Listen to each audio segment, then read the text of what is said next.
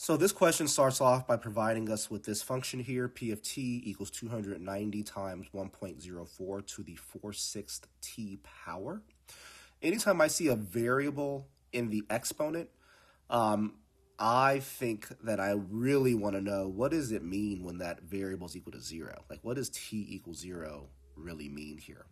I always want to figure that out. I haven't read this yet to see if that's valuable, but I just wanted to make note of that before I start reading. So the question says the function p models the population in thousands of a certain city t years after 2005. So t, t equals zero would be the year 2005, right? No years after 2005. According to the model, the population is predicted to increase by n percent every 18 months.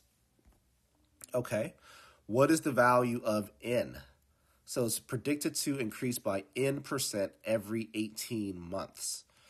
All right, so I know that t is years. So I could do quite a few things here. So I could say, I could say, what happens at t equals zero? And I can also say what happens at t equals 1.5 because 1.5 years is the same as 18 months. So let's do that. When t equals 0, use a different color. When this is 0, that makes this whole thing 0. Any number to the 0 power is just 1, and we get 290, right? Which is why I like to use 0 there. So basically, p of 0 is equal to 290. So what happens at p of 1.5? I may need to use my calculator here. Um, so now I'm saying that t is 1.5. I can use 3 halves if I want to keep things as a fraction. Um, yeah, why not? 1.5 and 3 halves are the same thing.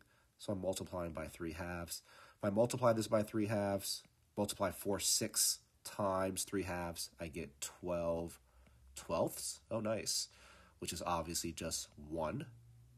So that turns into 290 times 1.04 to the first power, which is not important to write.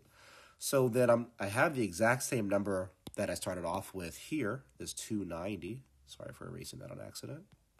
But I'm just multiplying that 290 by 1.04. So my percent increase here is found all in the 1.04. So 1.04 represents a 4% increase. Here's why. So 1.04 is the same as 104%. Okay?